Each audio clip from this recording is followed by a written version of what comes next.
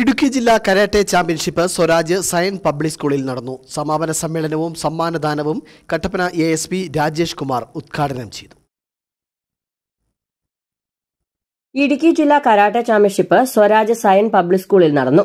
Sub junior junior under twenty one senior ആൺ പെൺ വിഭാഗങ്ങളിലായി ജില്ലയിലെ വിവിധ കരാട്ടെ സ്കൂളുകളെ പ്രതിനിധീകരിച്ച് നാനൂറ്റി അൻപതോളം താരങ്ങളാണ് പങ്കെടുത്തത്.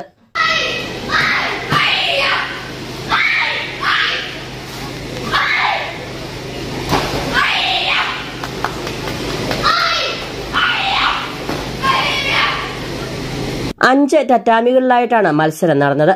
സമാപന സമ്മേളനവും അവാർഡ് വിതരണവും Kattappana assistant police superintendent Rajesh Kumar I P S നിർവഹിച്ചു.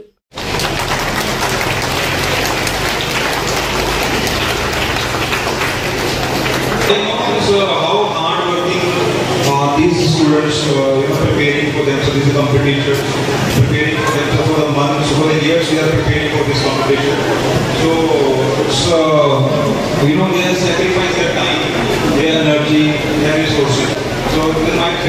to all of them. I want to see all of them at a national level, at a state level, hopefully at national level also.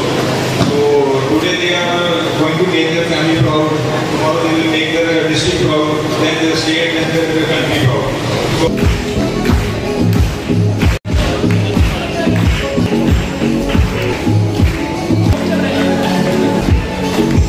karate association ജില്ലാ president Mathew Joseph അധ്യക്ഷത വഹിച്ചു. Science school manager father Immanuel Kizhakkethalakkal മുഖ്യപ്രഭാഷണം നടത്തി. കാഞ്ചിയാർ ഗ്രാമപഞ്ചായത്ത് അംഗം റോയി എവറസ്റ്റ് ആശംസകൾ അർപ്പിച്ചു.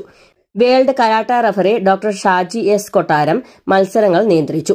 ജില്ലാ ഭാരവാഹികളായ Vandana Prabeesh Trinity K Thomas K T George തുടങ്ങിയവർ നേതൃത്വം നൽകി.